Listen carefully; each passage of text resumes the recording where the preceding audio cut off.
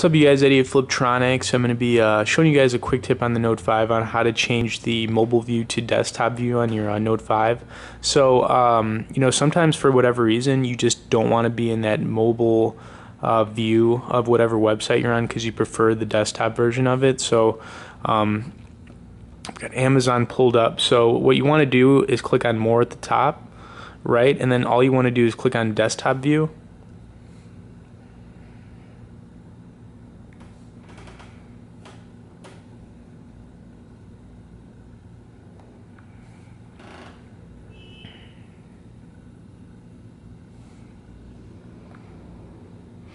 Okay, so basically when you do this, it's going to change every website you go to from uh, mobile to desktop.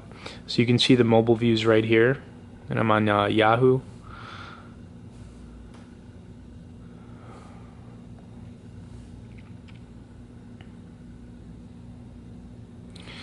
Alright, and then I want to switch back to desktop.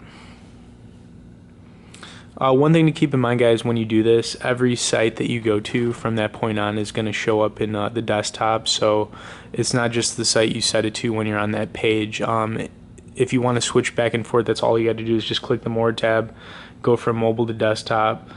Um, but like I said, some sites uh, really aren't that optimized for mobile view, and it's just kind of better to be in the um, desktop, especially if you're used to it on you know, uh, a PC or a laptop or whatever. Anyways, guys, just another quick tip on the Note 5. Definitely like this video. Stay tuned for more and be sure to subscribe to our channel.